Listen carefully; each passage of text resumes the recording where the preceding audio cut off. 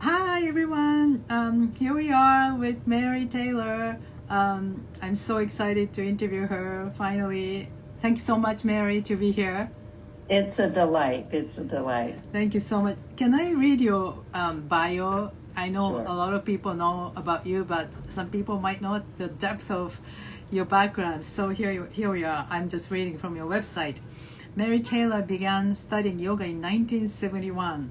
Soon after she came from, um, she came home from France with a grand diploma from Julia Child's cooking school. I had no idea. L'école des trois gourmandes. gourmandes. she found. Huh? Beautifully said. she found yoga at first uh, as a means of finding equa- equanimity during the stress of university, and it was the thread, that thread of balance that got her hooked. It was not until 1988 and finding her primary teacher Sri K. Pattabhi Jois and the Ashtanga Vinyasa system that she experienced the profound and transformative impact that a dedicated and daily practice can have on all aspects of life. She continues to study and practice yoga and Buddhist teachings with great enthusiasm and inquisitiveness, with an eye on how the residue that is produced on the mat and cushion through these teachings informs and supports all aspects of everyday life. I love that. Mary, Mary travels and teaches with Richard and within the caregiver and hospital setting as part of the Being with Dying program, Upaya Zen Center, and the Urban Zen Integr- Integrative Therapy trainings. In 1988, she co founded with Richard Freeman the Yoga Workshop. Mary is also the author of three cookbooks and the co-author of What Are You Hungry For? Are You Hungry For? Women, Food and Spirituality and the Art of Vinyasa. Wow. Thank you so much, Mary, for being Oh, here with this you. amazing, um, well, 50, I was counting 50 years in yoga. Yeah, And it's a cook- long time. Yeah, and longer with cooking. Yeah, yeah. right? So it's really fascinating. I want to ask a lot of questions, but um, so it says that you found yoga and especially Ashta- Ashtanga yoga that hooked to your like maybe daily practice or deeper practice. But could you tell us how you felt when you started practicing Ashtanga yoga? Wh- What was the difference and why were you so hooked to it? Well, you know, I think that it was the first time that uh, I had really practiced in a dedicated way. It had before that been sort of a thing, and in those days it wasn't like modern yoga where it was everywhere, but it was just sort of like something that you did to stretch or to reduce stress or whatever, and you do it when you wanted to, and you know that that sort of thing. And when I started practicing on a daily basis, and I think this would happen with whatever form of yoga one does. Um, it started really uh, working on me in an internal way. Um, and I think that bottom line impact that I love about what yoga does is it opens up the truth of who we are inside that has nothing to do with our personality or our individual self or whatever it's it's a way of connecting deeply to human nature and through that to then connect deeply to others and see the responsibility and the joy Mm. of uh, connecting to others, which is what I love about yoga gives back. is that you have seen into through yoga, you have seen this uh, pathway that people can take to come out of our own little storylines and see what is um, there in the world that uh, could use some service and what do we have within our own capacity that we can do to support others Mm. and so that's really what got me hooked on it and and indeed it was because in the ashtanga system you are supposed to practice every day you know that i did that and but i don't think it has to be ashtanga i think it's any form of yoga where you really are practicing and you start to fade into the background. Mm. Mm. That's interesting, and profound. So, um, do you think everyday practice was important initially? Absolutely. And but when I first started yoga, I didn't, you know, I was that was not really what I had understood. Um, but yeah, I think practicing every day, and that doesn't mean that you, as an Ashtangi, that I have to do the primary series or whatever series I'm working on every single day. What I see that as meaning is that you have to take the tenets that are the underlying um, aspects of yoga um, that are the you know the the ethical underpinnings and the insights into um, being alive as well as being embodied. Mm. Um, to me, that's what yoga brings that some of the other practices are less focused on is the the aspect of being embodied and how does that then impact our actions and our um, way of relating to others. Mm. And you know, you've been practicing for a long time, but how long did it take you to realize that? Um, you know, it's a gradual process. What happened for me immediately was because I had gone to India and studied in a setup that really wasn't a normal, everyday setup. You know, it was it was going there specifically to do that. Um, I had some very uh, sort of profound personal shifts, uh, some insights into things that had happened to me as a tiny little baby before I was even pre-verbal, and or as when I was pre-verbal, and um, also insights into you know the way my breath and body worked together, um, or fought against each other if I didn't give them conscious awareness etc. So it was for me. It was, you know, the day the the luxury of being in a situation where I was expected to and could mm. practice on an ongoing basis, and then of course being in an environment that was India, which is for those of us who've been there, it's it's such an unusual and uh, sort of magical and and horrible at the same time environment um, that it really woke me up to mm. paradox, to uh, to sort of the insight of tradition and long-lasting um, traditions that have been passed down for generations. So it was that's when it really happened for mm. me. So, if we want for your trip to India and learning Ashtanga yoga, would you have been a chef? That was your path. I was a chef. Oh, um, was? Yes, and um, I I think at that point I had been a chef for many years, and then at the point I went to India, I had uh, kind of drifted off of that specific path of being a restaurateur and gone into catering and then teaching cooking, and then um, had become a a vegetarian, and which because I was trained in France, where at that time vegetarianism was just sort of not something anyone even knew existed. It was like if you have a pear with some cheese, that's vegetarian. and um, so I I had moved into doing things like um, teaching other people how to cook, and had had had become engaged with a very large natural foods store that was based in Boulder and then expanded um, to bring sort of more, um, you know, a sort of more classical food approach into some of the vegetarian offerings that they had. Wow. So how did you step into vegetarian vegetarianism? Well, I had never liked meat as a child, but my parents were English. And so, it, any of us, and I was Catholic, it brought up as Catholic. So, anyone who has had those, that combination of things knows that on Friday, you eat fish. On Sunday, you eat roast beef. And I, in particular, in those two meals, I just couldn't, you know, I was called the finicky eater of the family. Yeah. And it was, it was just, I didn't have an affinity for eating meat.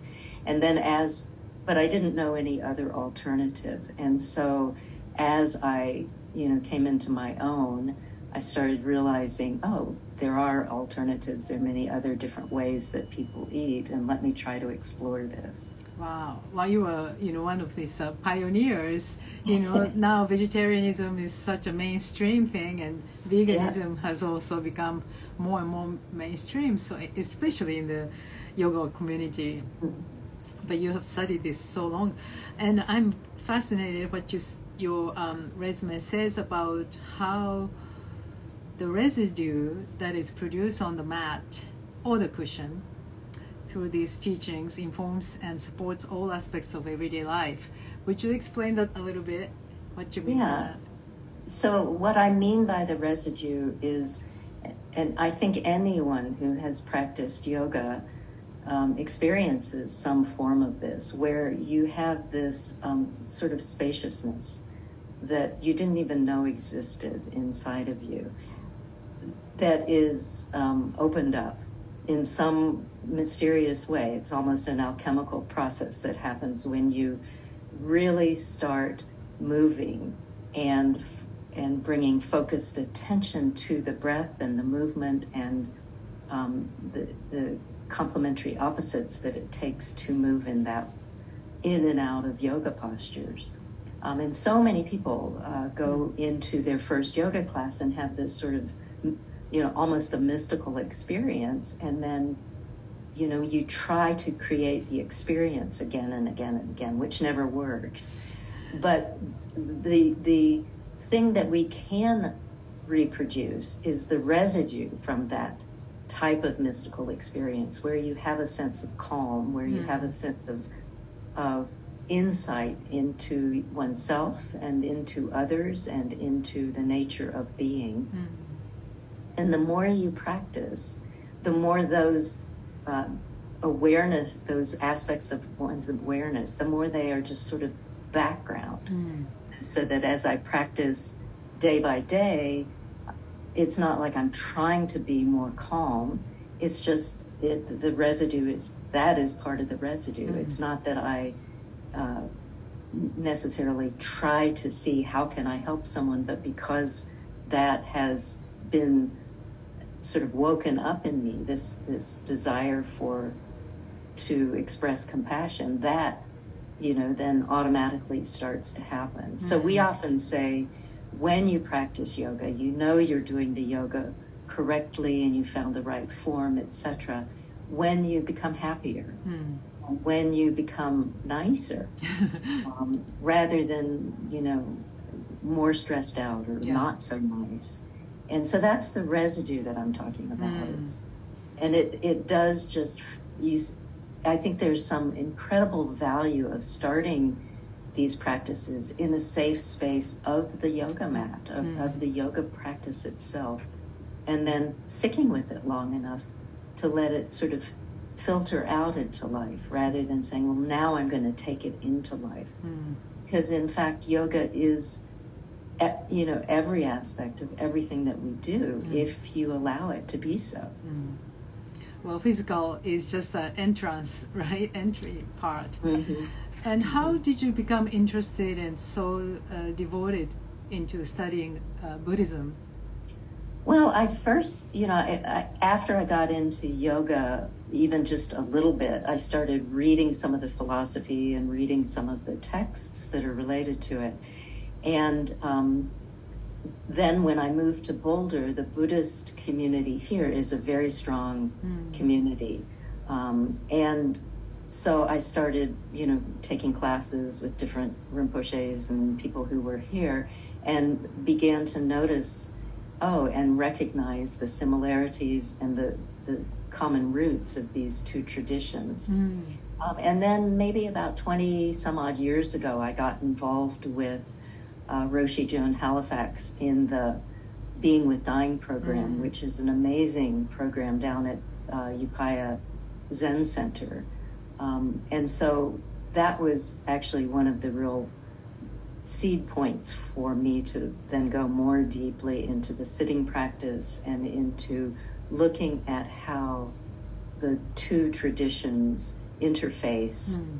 And, um, you know, they're not identical Mm. by any means, but they are also very complementary. Mm. And so f- I'm just fortunate to be in a place where there is a lot of Yeah. um, Buddhist teaching that goes on, and then I have this incentive to to study it. And then, like so many of us, in during the pandemic, you know, I was able to take online Mm. classes with people I hadn't, you know, I'd always wanted to study Mm. with, but for various reasons hadn't had the opportunity. So, what exactly do you do at this uh, Being with Dying program at Upaya Zen Center? It sounds like almost like Mother Teresa's home for the dying. Well, what it sounds like that, but who it is, this particular program is designed for, and I've worked in other areas with people who are the ones who are dying, but this program at Upaya is designed for medical professionals who work with those who are in end of life care. Mm. And so, what, um, and Roshi Joan has been, she began her work as a um, medical anthropologist. And so she has taken the Buddhist approach to uh, combine it with her medical anthropology work and has been doing this for 50 years Mm. or more. Um, looking at how the medical system, particularly in this country, but in many parts of the world, is really broken Mm. and how so many people go into the field of medicine and then with these great ideals and huge hearts wanting to serve and then because of various factors and having to overwork and now with you know doing so much online having to fill out all these forms etc it becomes a very dehumanizing Mm. environment and so what i do is i bring so the program is really va- people who have been in this field who so often have not had time to become embodied because they're working so hard and exhausted when they finish. So I, throughout the program, we start the day with yoga, Mm. a short yoga practice, and then throughout the day during lectures and um, programs that we have all day long for the eight days, we take little short yoga breaks where we Mm. stretch and breathe and Mm. and so, uh, you know, it starts to be part of the self care, Mm. if that's a word that you can even use these days, Mm. um, aspect of, of this. So we teach them the importance of contemplative practices in uh, becoming balanced themselves so they can be there in service of others. Mm. That's fascinating. So you you actually give tools to medical care providers. Yeah. The, yeah, that's wonderful. Um, well, you know, when you go so deep in the yoga practice, um, it's like never-ending practice. You can just stretch out into so many different ways. It's so true. It's That's so so, wonderful. And what is what is your is inspiration or aspiration as a yoga teacher? Well, I think you know that was is a great question that I've thought a, uh, about, and I think that the the thing that really inspires me, there are a couple of things, but one is um, as a teacher, one is interfacing with students Hmm. Um, and learning from the students. I see myself more of as a um, you know as a support system rather than someone you know telling people what they need to do. Um, and so, what truly inspires me, and what I aspire to do, is to have a wealth of knowledge that is whatever I can manage to continue to keep adding to, and then offer that um, in whatever way, like to see who is there before me as a student, Hmm. and to then not offer a lot of, um, you know, sort of things about, or uh, not tell them what they must do, but see what I have in my bag of tricks of understanding this thing, and then kind of offer what I imagine might be of best service to them. Mm. Um, and, and then seeing the response of students Mm. as they start again, like I did many years ago, Mm-hmm. start to wake up and start to question and start to have enthusiasm and start to really see the importance of taking care of the earth, taking Mm. care of one another, uh, and contributing. Mm. And that that's really what inspires me. Mm. That's great. And how important is it to have Richard as a partner in this journey? Oh, well, I think that it would have. I you know I've often wondered if I hadn't met Richard, and um, I don't know what would have happened. And and I believe, you know, we're so intrinsically involved at this point, um, and we've you know written three books together and um, have taught together a lot and have a family together, and so we've gone through you know the easy parts of life and the real difficult parts of Mhm. life. And um, both have this foundation of real devotion to these teachings and to these practices. So i think you know i don't know how i could ever have done it without this particular path you know opening up for me and Mm. it was just i was fortunate Mm. That's so wonderful to have that partnership in the journey, in this journey. So finally, would you share if there's any like workshops or like upcoming events you want to share with the global audience? Oh, well, we are currently, and you and I just had this horrible moment right before we got on. I'm like, I don't know how to do Instagram. Oh, help! Um, but we're, I'm currently being um, taught how to be more, have more of our teachings online. So, through our website, we are just in the process of opening up a lot more online stuff. But we're Oh. also teaching in Thailand in um, November and December and March. We're teaching in Taipei Oh wow! in February, and then doing some little smaller things privately here in the U.S. and in Colorado between now and when we go to um, That's to wonderful. Asia. Oh, Yeah. great! So anybody who is interested can go to Freeman Freeman Ta- Taylor Yoga, right? It, yeah, and it's richardfreemanyoga.com. Oh, that's right. Or Freeman Taylor Yoga on our Instagram would be the way to do it, and we announce things there. Okay. And I'm also going to start because we've been talking about food. oh, I have on our website. I have recipes wonderful! because I can't help it. Yeah. And we've been looking at um, trying to get some cooking class types of things, or you know, or set up some things where people we might even have online live dining experiences. So we're we're playing with Oh, that. fantastic! Yeah, I saw recently like some quiche you posted. Yeah. It looked amazing. I'm like, what? Yeah, that's great. We look forward to seeing that. But thank you so much, Mary, Ah. for sharing your journey. And also, I'm so grateful that you joined Yoga Gives Back um, as an advisor. I really Yeah. appreciate your support. Well, it is, you know, I have watched you develop this over the years, and I am so grateful to you for for inviting me, and also hope that I can contribute uh, what you're doing and, and for the lives of so many children and women. Um, it's really important, Yeah. and particularly so in these divided times Yeah. that we have. So, thank you.